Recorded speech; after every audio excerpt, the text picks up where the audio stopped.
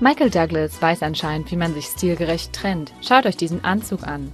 Hier landet Michael gerade in Frankreich, nachdem er und Catherine Zeta-Jones sich eine Auszeit genommen haben. Er scheint gut gelaunt zu sein, aber das ist wohl nicht schwer, wenn man in einem Privatjet fliegt. Nachdem er einige Freunde begrüßte, war der Schauspieler auf dem Weg zu den Filmfestspielen in Deauville, um seinen neuen Film Behind the Candle Bros zu bewerben. Aber nicht bevor er im Hotel eincheckte und weitere Freunde begrüßte.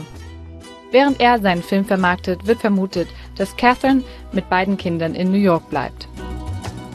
Sie sind zwar auf verschiedenen Kontinenten, aber es ist nicht sicher, dass ihre Ehe weiterhin hält. Wir werden sehen, ob Douglas dafür kämpfen wird oder nicht.